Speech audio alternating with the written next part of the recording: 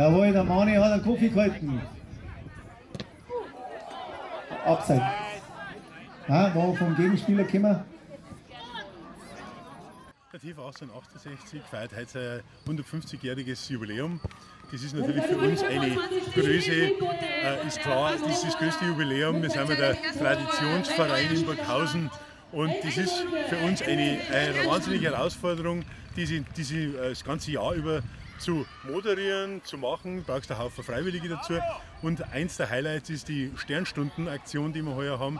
Das ist natürlich so, dass jeder in Deutschland, sage ich mal, die Sternstunden kennt. Und wir sind wahnsinnig stolz, dass die alten Fußballgranten bei uns sind. Auch unsere Mannschaft ist gut ausgestattet mit Spielern, Staatssekretär Mayer, Bürgermeister Hans Steindl, die sind heute alle da. Die Zuschauer sind da, mit jeder haben wir Glück. Also was kann es in einem Jubiläumsjahr schöner geben, dass wir die Leute zum da haben. Das war unser Ziel. Das Motto lautet auch von uns, für uns und das ist voll aufgegangen. Und ich bin überglücklich, dass das heute läuft mit den Sternstunden. Das ist ja eine Benefizveranstaltung. Das heißt, also es soll möglichst ein Geld zusammenkommen für die Hilfsaktionen, die von Sternstunden unterstützt werden. Und da kommt schon 5.000 oder 10.000 Euro raus bei so einem Spiel. Und dafür setzen sich die Leute ein.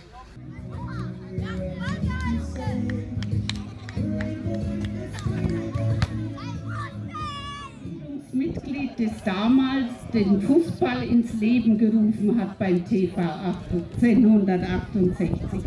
Sie sind beide noch aktiv, immer noch im Vereinsleben, eben Schiedsrichter, gell, Trainer, immer noch eben Kassier, habe ich gerade gehört.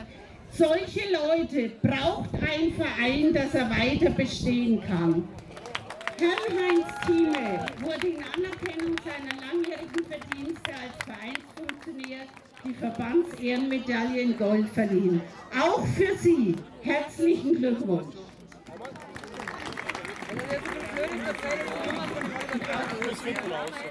Eine Ehrenmedaille.